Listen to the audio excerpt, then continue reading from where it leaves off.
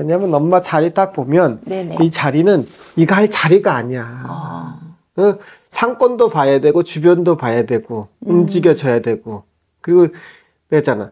시간 대비 투자했을 때 뭔가 맛이 있어야 돼. 몰라. 음. 애기가 그래. 하, 맛이 먹으면 뻑뻑하다 그래. 아, 응? 뭔가 아, 그러니까 호불호가 많이 갈리는 거야. 호불호 가요? 응. 음, 좋아. 그러니까 근데 평준화가 돼야 되잖아 음, 인간 음식도 마찬가지인데 개들도 마찬가지고 고양이도 마찬가지야 음, 지네가 좋아하는 게 다 다르잖아 그러긴 하죠. 걔네들도 응. 어차피 내, 내. 내 강아지가 잘 먹는다고 남의 강아지가 잘 먹는 건 아니야. 어, 전 그걸 봤던 것 같아요. 저 응. 강아지가 잘 먹고 그러니까. 좋아하니까. 응. 아이고, 큰 실수했네요. 진짜. 그러니까 다 다르잖아. 근데 그냥 엄마 맛도 다르고 저 사람 맛도 달라. 음, 먹는 맛이. 근데 이걸 평준화를 만들어 놨어야 되는데 몰라. 아직은 이 엄마 레시피가 모르겠어. 맛있다는 말이 안 나와. 아, 그렇게 되겠다, 진짜. 음. 그래서 많은 개가 좋아해야지. 그리고 몰라. 딱 모양은 이쁘대. 음, 먹기 딱 보기 좋은데 그래서 이렇게 색깔이 이렇게 확 저가지가 않지 음, 왜냐면 엄마들도 자기 새끼들 먹이려고 오는 거잖아 그렇죠. 응? 제 새끼들을 먹이려고 하는 거죠. 응, 자기 맞아요. 요즘은 사람보다 더 잘 먹어 음, 응, 그리고 엄마네는 홍보가 하나도 안 돼 있어 음, 했다고 했는데, 인터넷 매개체에 제대로 많이 안 올라와 아, 그거 있네요. 응? 참, 내가 하다 주변에. 알리는 거하고 음. 요즘은 시대가 어때? 응. 그리고 잘 봐. 엄마네 갔다가 사갖고 가서 퍼지지가 않아. 퍼지지가 않는다니 무슨 말씀이시죠? 사람들한테 홍보가 안- 이 입소문이 안 난다는 거야. 근데 오는 사람은 계속 와서 먹어. 아, 응? 근데 이게 퍼져야 되는데 안 퍼진다는 건 어때? 입소문이 안 난 거죠, 그죠? 안 나는 거지. 날수 있는 방법 없을까요? 응? 내가 했잖아. 여기는 그래서 대중화하게는 이 자리가 좀 좋지는 않아. 왜 돈이 너무 없어 엄마가. 음, 그래서 이런 자리도 얻은 걸 수도 있어. 돈만 많으면 남들 사거리 복판에다 그냥 탁 하지. 응? 없는 와중에 그걸 그것도 힘들게 한 거야 솔직히 이 자리도. 네, 네. 맞습니다. 네. 응? 그왜 애견 먹거리를 했어?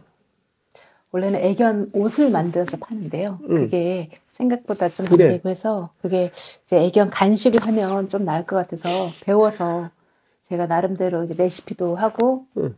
어, 건강식으로 하고 뭐 그리고 그랬잖아. 저 그- 강아지하고 고양이들도 먼저 먹어보고 애들이 너무 잘 먹으니까 그래서 제가 제가 그래서 한 거예요. 그래서 응.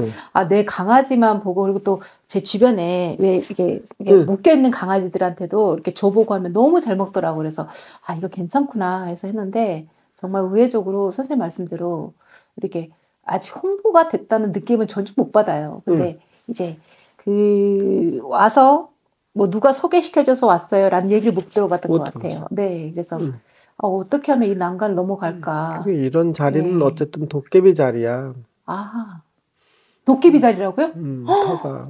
그래서 이런 걸 좀 위에 써야지. 아니면 차라리 고사라도 우리는 사람들 불러다가 고사라도 좀 지내놓고 움직여놓고 털을 좀 열어놨어야 되는데 터문이 아직 열리지가 않았단 말이야. 도깨비 자리면 되게 좋은 거 아니에요? 변사가 많은 거지. 변사가 많다고요? 도깨비는 장난을 잘 치거든.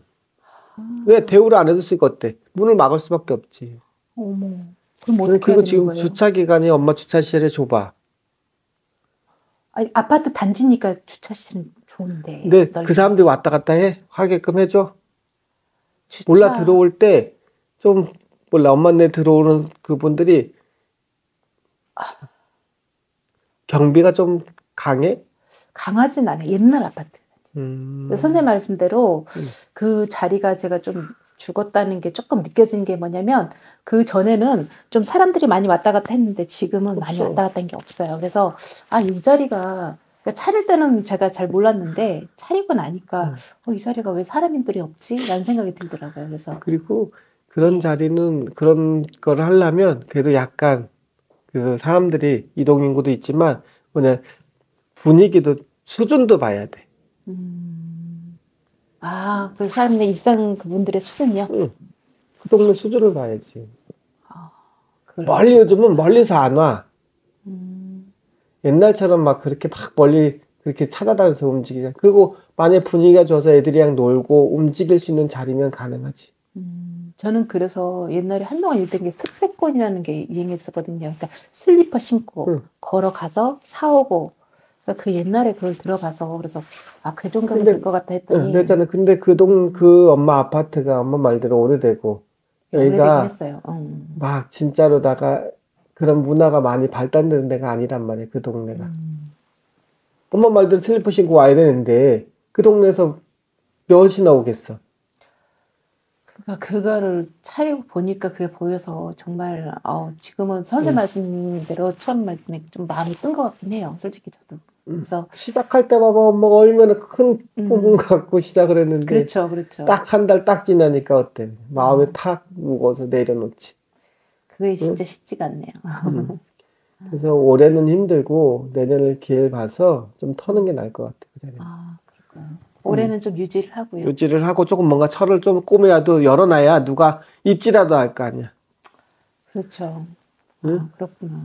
응. 저 그래서 솔직히 그 전에 제가 차리고 난 다음에 너무 안 되니까 한 군데 더 봤었거든요. 그래서 선생 말씀 들으면 도깨비편 아니어도 그 터가 안 좋다는 얘기를 하시더라고요. 그래서 아 그렇구나. 그래서 터가 센 자리야. 안 되는 자리가 아니라 센 자리고 그런 자리는 그냥 그런 거 하면 안 돼. 원래 애견 잡하고 움직이는 자리는 아니야. 음, 음. 그러니까 진짜 보고.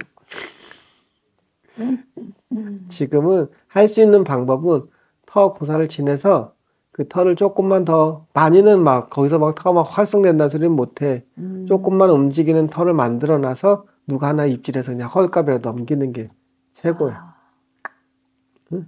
거기서 살린다는 소리 난 못하겠어 솔직한 얘기로.